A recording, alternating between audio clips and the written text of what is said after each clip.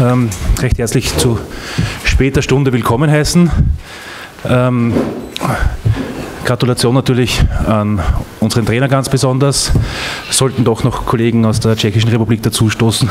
Vielleicht kann es ja irgendjemand sagen, dass sie ein Zeichen geben sollen, dass wir übersetzen. Ansonsten würden wir jetzt auf Deutsch weitermachen und ich hoffe, es ist in eurem Sinne, dass wir heute nicht äh, eine epische Pressekonferenz machen, da wir bereits morgen um 13.30 Uhr hier die Derby-Pressekonferenz mit dem Trainer und dem Danos Petzers und unseren Sportdirektor haben und unserem Geschäftsführer.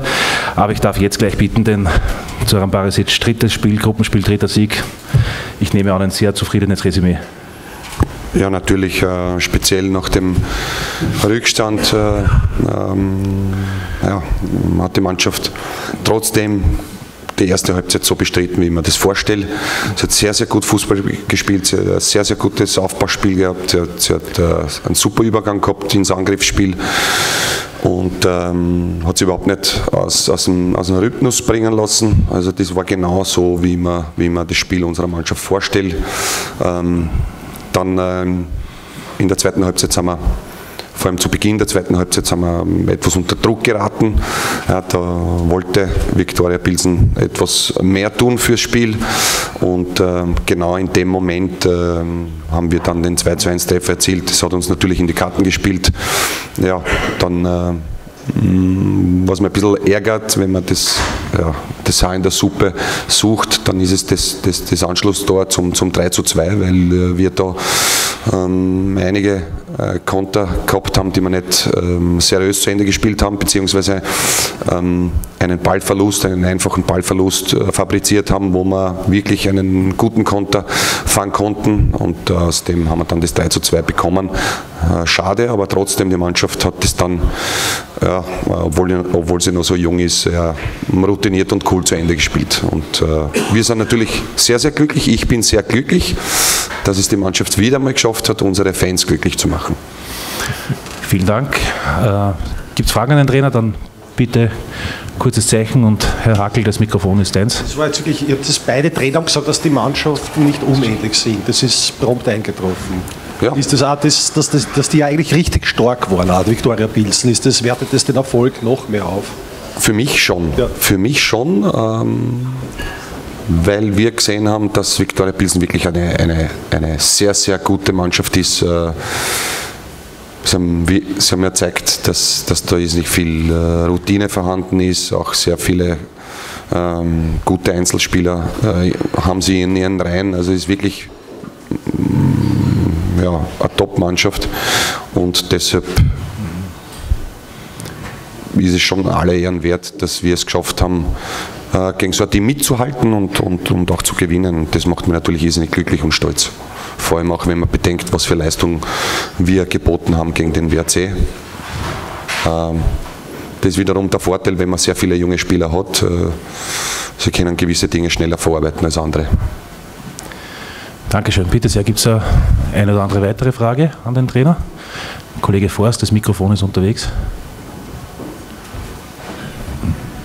Äh, Zocki, was heißt denn das jetzt? Ich weiß, du denkst normalerweise von Match zu Match, aber nach Halbzeit neun Punkte, größte Erfolgsserie in der Euroleague überhaupt.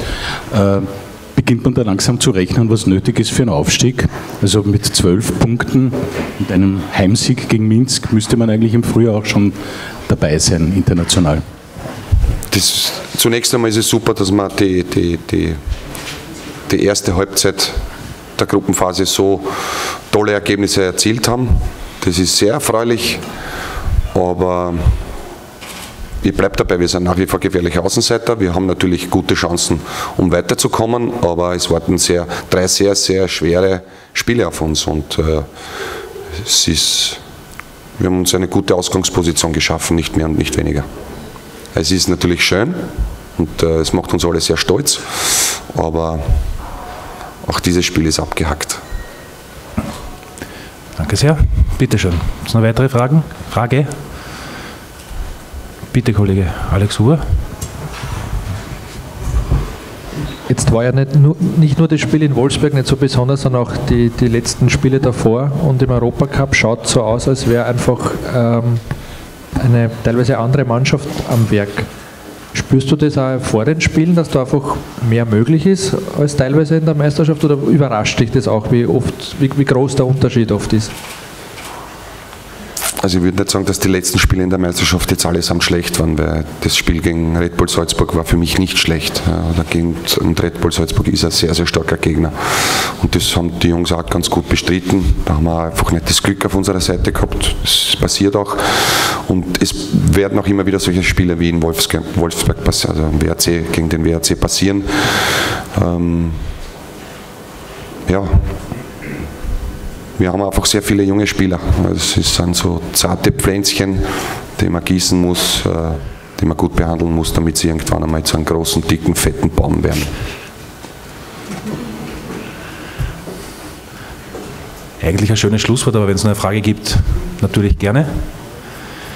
Wenn nicht, dann vielen Dank an alle fürs Interesse. Gratulation an dem Trainer. Dankeschön. Und wer Interesse hat, wie gesagt, morgen 13.30 Uhr an derselben Stelle mit einem anderen Backdrop. Dankeschön.